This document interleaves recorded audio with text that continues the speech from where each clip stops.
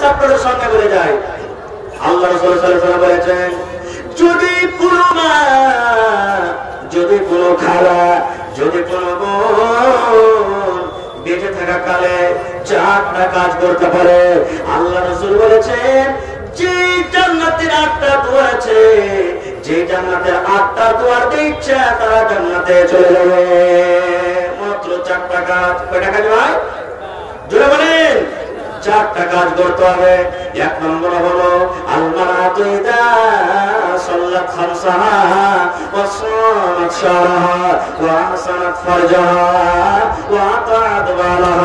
আল্লাহর নবী বলেছেন, যদি কোনো না যদি কোনো বোন, যদি কোনো খালা নিজের জীবনে বেঁচে থাকা কালে এই চারটা কাজ করতে পারে।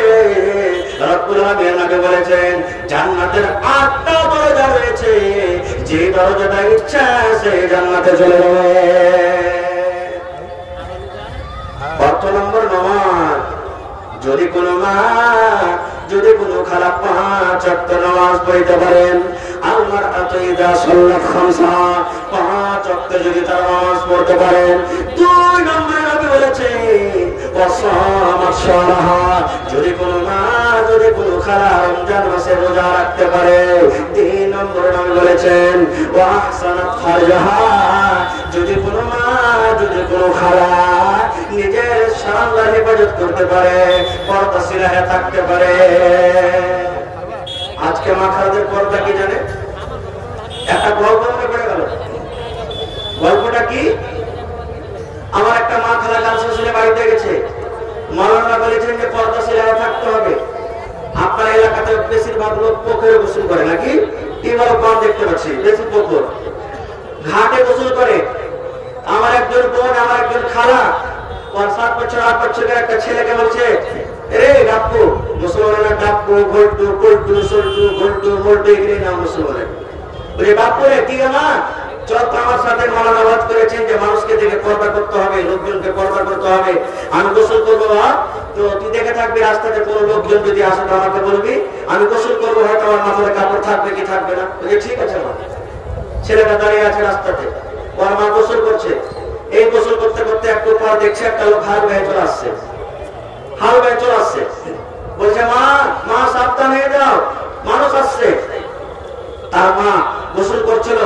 এবার মাথাতে হয়তো কাপড় ছিল না, কাপড় দিয়ে ঢেকে ঢেকে দেখছে তো বলছে, ওই আমাদের গ্রামের মন্ডল সর্দারের একটা হাল হয়ে চলে আসছে। এবার ছেলেটাকে দুটা চড় দিয়ে বলছে হারে গোলামের বেটা গোলাম, তোকে বলেছি যে মানুষ আসবে তখন বলিস, এটা কি মানুষ? প্রত্যেক দিন মানুষ? মানুষ বলবি, এই তো মাথা আমার ছেলেটা আছে। থাকতে থাকতে থাকতে থাকতে কিছুক্ষণ পর একটা ডিম কিনে গ্রামে চলে এসেছে ডিম বিক্রি করে চলে এসেছে। বলছে, মা মা, সপ্তাহে যাও, মানুষ আসছে। আবার সে সপ্তাহে গেছে দিয়ে গেছে। এবার একটু পর দেখছে তো ডিম ওলা আইছে আবার ছেলেটাকে এসে তুল হাত দিয়েছে। বলছে, আরে খালি ওরা তোকে বলছি যে মানুষ আসবে তখন বলিস এটা কি মানুষ? আমাদের গ্রামে তো প্রত্যেক দিন যাই ডিম বিক্রি করতে। ওটাও মানুষ হলো না। বন্ধুরে আমার, কিছুক্ষণ পর গোসল করতে আছে তার মা। এবার একজন মরানা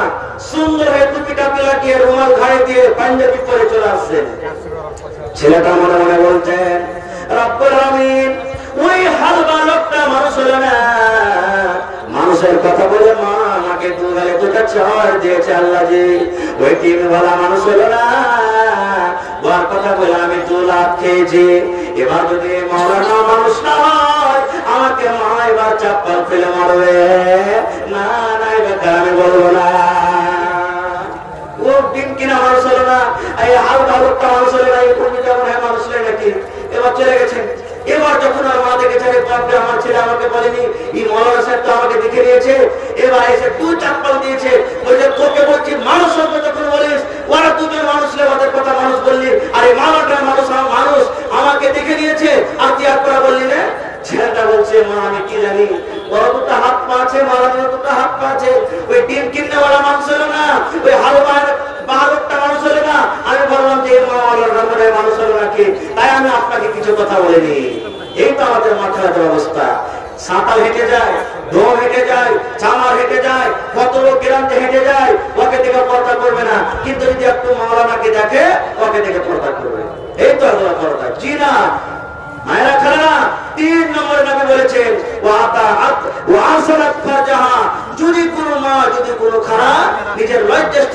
করতে পারে, চার কি বলেছেন? খালা নিজের স্বামীর করতে পারে, স্বামীর খিদমত করতে পারে, স্বামীর খিদমত করে জান্নাতে যাবে মহিলা নবী বলেছেন যখন কোন নারী মারা যায় কিংবা তার স্বামী মারা গেল ওই টাইমে যদি তার স্বামী তারপরে নারাজ আছে ওই মহিলাটা জাহান নামে যাবে জান্নাতে যাবে না আল্লাহ চার নম্বর নবী বলেছেন স্বামীর খিদমত করো। একটা গল্প মনে পড়ে গেল ভাই? আল্লাহ একটা মোটা হয়ে যাবে মহিলা, মোটা হয়েছে মায়ের জালসা শুনতে গেছে? জালসা শুনে বলেছে পূর্ণি জেলা থেকে বিহার থেকে মুসলমান এসেছে, বলেছে স্বামীর খিদমত করতে হবে। স্বামীর খিদমত করতে গেলে জান্নাত পাওয়া যাবে। তো কি করেছে? ফজরের টাইমে দুটা পর জালসা শুনে বাড়িতে গেছে। তিনটা বেলা তোমার স্বামীটাকে হাল পাঠিয়ে দিয়েছে। আর ওই ঢিকি যা আছে ওই রহমানকে কি আপনারা? ঢিকি ধান কুটে স্বামী, এবার মাথাটাকে দিয়েছে আর দিয়ে দেয়ালকে গরম করে মাকে। সকালবেলাতে ওর বোনের বেটা এসেছে খালার বাড়ি খালার বাড়ি বেড়িয়ে আসি। বলছে, খালার বাড়িতে আছিস রে? বলছে হ্যাঁ বাপ, আছি, স্বামীর খেদমত করছি। তো ছেলেটার মধ্যে ছেলে হয়তো আমার খালুর খেদমত করছে, দিয়ে টেম্পেতে যাওয়া ভালো হবে না। একটু ঘুরে ফিরে আসে।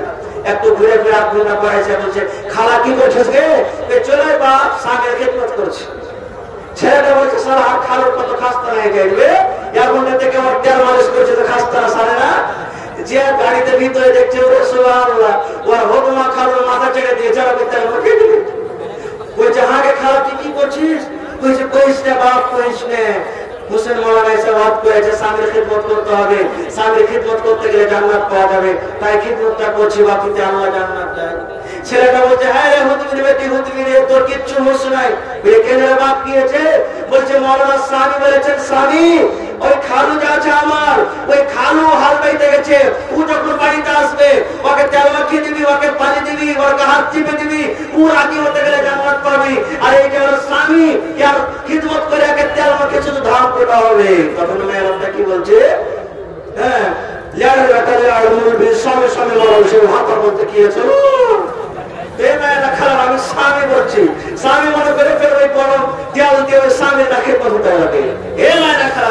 আর একটা শুনে হাদিসের কথা, আল্লাহ সাল্লাল্লাহু বলেছেন, স্বামীর না সূত্রে কোনোদিন জীবনে হইতে হবে না নারীরাকে হইতে হবে না। আপনার এলাকাতে মা খালারা ঈদ বকরে জানার আপনাদের সাথে ঈদগাহের মাঠে পড়ে না, মসজিদে পড়ে আলাদা করে। জয় বলে জি, আপনাদের এলাকাতে তালিম আলিমের আছে।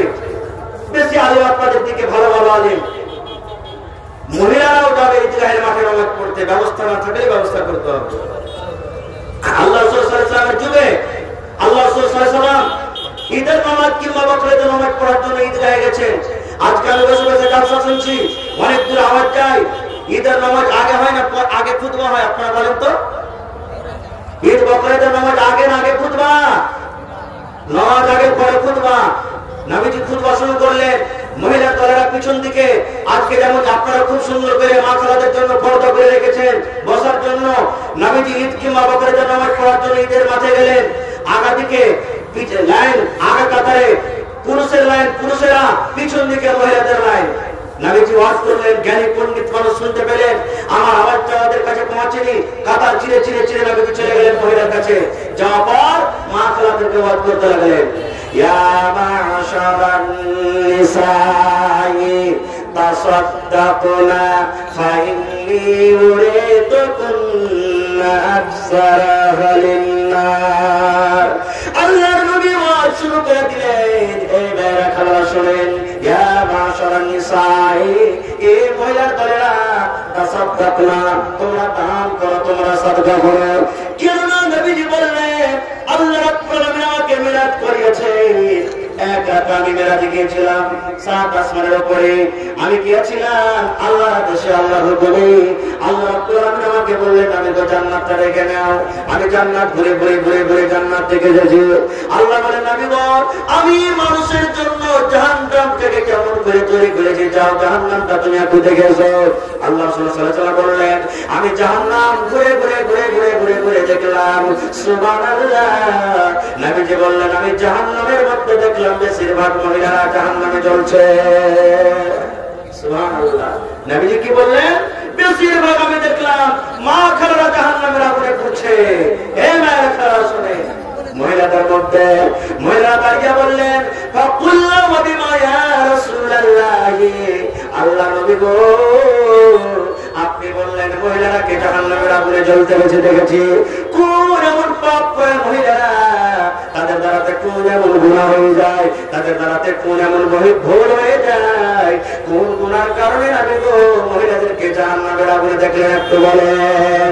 আল্লাহ নবী বললেন, ও মহিলার দলেরা, শোনো গো, মাত্র তোমাদেরকে গোটা গুণার কারণে আমি জাহান্নামের আগুনে পড়তে দেখলাম কেটে গুণা নয় জোরে বলেন মাত্র দুটা গুণার কারণে। নবী বললেন মাত্র দুটা গুণার কারণে আমি তাদেরকে জাহান নামের আগুনে দেখলাম।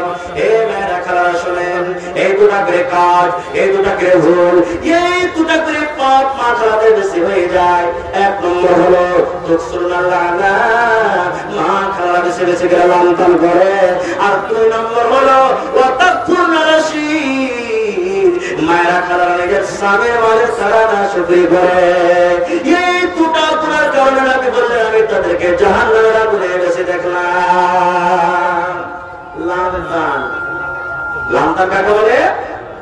যদি কোনো মা খারাপ এই যে রোজে গম দিয়েছে শুকাতে মাকে দিয়েছে, পেঁয়াজ দিয়েছে, রসুন দিয়েছে, হঠাৎ দিক থেকে এসে মেয়ে গেল আর এসে সব ধান পেঁয়াজ কিনে দিয়ে দিল মাখালা কি বলবে?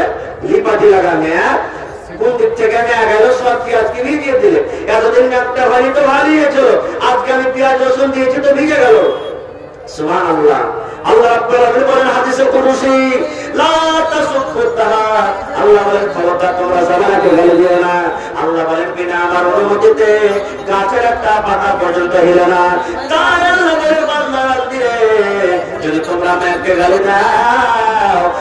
আমি আল্লাহ আমাকে গালি দাও হলো। তোমরা যদি পানিকে গালি দাও, আমি আল্লাহ আমাকে গালি দাও হলো। তোমরা যদি ঠান্ডাকে গালি দাও, আমি আল্লাহ আমাকে গালি দাও হলো। তোমরা যদি গরমকে গালি দাও, আমি আল্লাহ আমাকে গালি দাও হলো। আল্লাহ বলেন, আমার বিনা অনুমতিতে গাছের একটা পাতা হিলে না। তাই আল্লাহ বলেন, খবরদার খবরদার, তোমরা আমাকে গালি দিও না। এক নম্বর গুণা দুই নম্বর, নিজের স্বামীর মালের না, শুকরি করে। স্বামীর মালের কীভাবে না, শুকরি করে? আপনার এলাকাতে, গ্রামে ওই টেম্পুওয়ালারা ডানা নিয়ে কাপড় বিক্রি করতে আসে? মানিহারাওয়ালা আছে জোরে বলে, আসে। এবার যদি আমার কোন মা খারাপ তার স্বামীকে বলেন হাজি, আসসালামু আলাইকুম। মা বোনদের প্যান্ডেলে মাইক দেওয়া আছে, দুটো ইউনিট কেটে গেছে। আওয়াজ হচ্ছে না, ঠিক করার ব্যবস্থা করে। মা বোনদের দিকে আওয়াজ যাচ্ছে না। দুটো ইউনিট সম্ভবত কেটে গেছে, ঠিক করে দেন। আর বক্তা সাহেবকে নিয়ে আসার জন্য যাদেরকে দায়িত্ব দেওয়া আছে তাদেরকে বলব, এনার পরবর্তী বক্তাকে নিয়ে আসা হোক, এনার সময় আর সাত মিনিট। তো একটা বন্ধ একটা চালু নাকি? কি হলো জি? হ্যালো? আমি কি বলছিলাম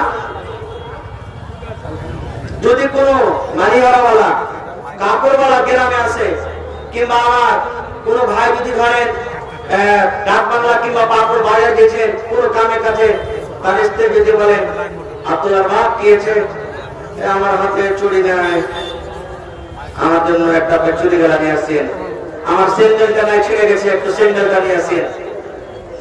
আমার ভাই যদি বলেন হ্যাঁ গো, আজকে আমার গিয়ে টাকা পয়সা নেই অন্যজন দিলে হবে না। আমার মা খালারা কি বলবেন জানেন? ইহো তোমা এই ভজুয়া মিলসা বাড়িতে এসে জীবনে কোনোদিন সুখ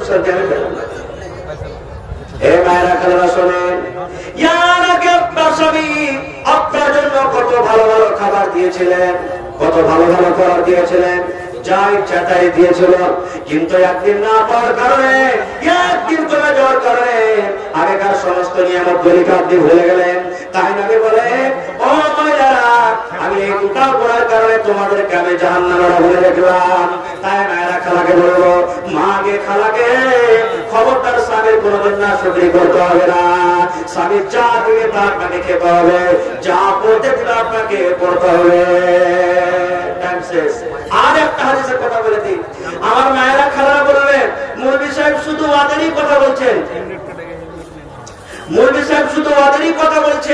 আমাদের কি স্বামীর প্রতি কোনো হক নাই? যে আছে। না বলতে গেলে রাইতে আমাদের শুধু শুধু সব সময় পেট ছেড়ে গালি দেবে। শেষ কথা তাদের একটা বলে দেয়। একজন সাহাবি আল্লাহ রসুলকে বলছেন আল্লাহ রসুল, স্ত্রীর হক কি আছে স্বামীর পরে স্বামীর প্রতি স্ত্রীর কি হক রয়েছে? আল্লাহ রসুল সাল্লাল্লাহু আলাইহি ওয়াসাল্লাম বললেন, আনতুতে মাহাই যা তাইনতা ওয়া তাকসুহা ইয়াক্তা সাইতা ওয়ালা তাজরিবিল আল্লাহ নবী বললেন, যখন স্বামীটা খাবে, তার স্ত্রীকে খাওয়াবে। দুই নম্বর হলো, যখন তার স্বামী পড়বে, তার স্ত্রীকে পড়াবে। এবার যদি বিবির পরে রাগ হয়ে যায়, গুসা হয়ে যায়, নবী বলছে রাগ করে খবরদার, তার ইচ্ছে রাতে তোমরা মারিও না। এবং রাগ করে ঘরে ধাক্কা দিয়ে বিবিকে বাড়ি থেকে বের করে দিও না। একটা মোটা হয়ে গেল। জালসা শুনে গেছে বাড়ি। জালসা শুনে যায় তখন করেছে আল্লাহকে নবী বলেছেন যা খাবি, তোর বিবিকে খাওয়া।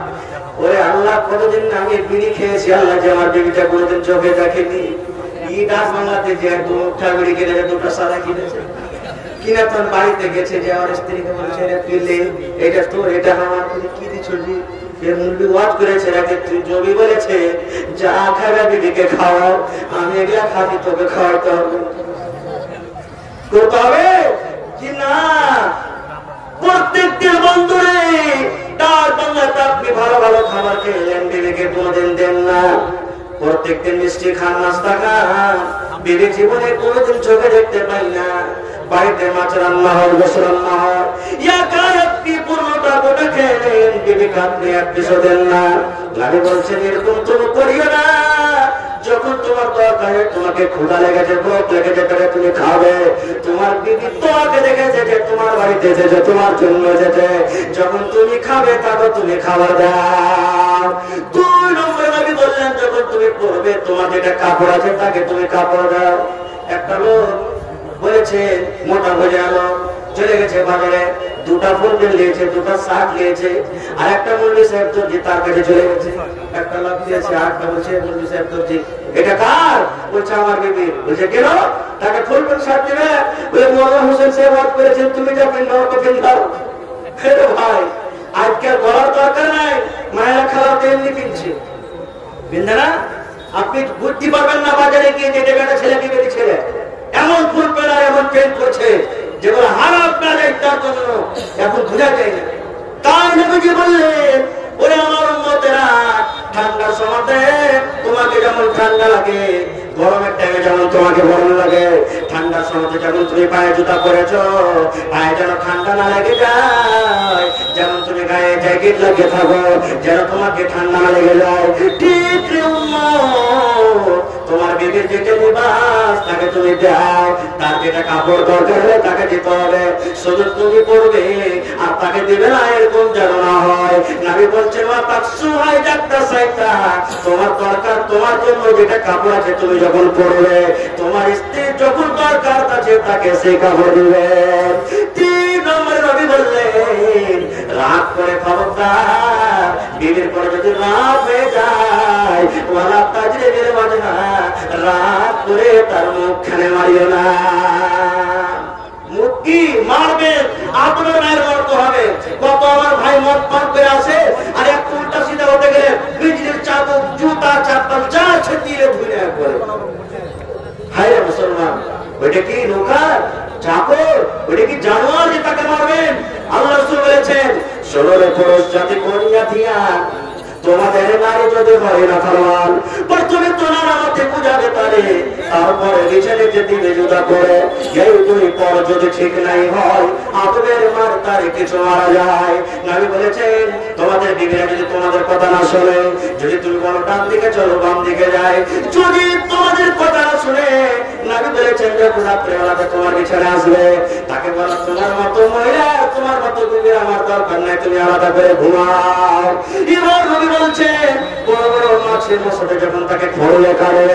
এবার যদি জ্ঞানী তাহলে আমাকে মাফ করে দেন। তারপরে বলছেন, যদি তোমার কথা না বলে, আলাদা হয়েও যদি থাকে, তাহলে তাকে আদরের মায়ের মর কত মা এমন আছে? স্বামীর কথা মতন চলবে না। ও বলবে, ডান দিকে চলতে যাবে বাম দিকে।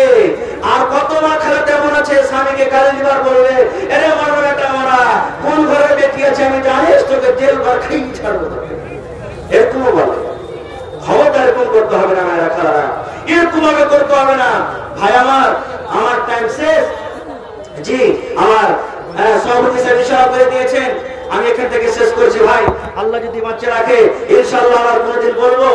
তবে শেষে একটা আপনাদেরকে পাইলাম দিয়ে যায় স্বামী স্ত্রীর জীবনটা একটা খুব বড় জীবন। স্বামী স্ত্রীর জীবন যদি ভালো হয় জান্নাতের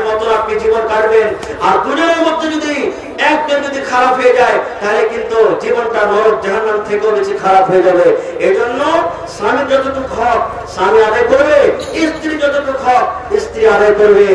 আর এক অপর একবারে এমন ভাবে থাকবেন যেন কোনোদিন জীবনে আপনার ঝামেলা, পেরেশানি না আছে, এরকম ভাবে আপনার জীবন কাটবে।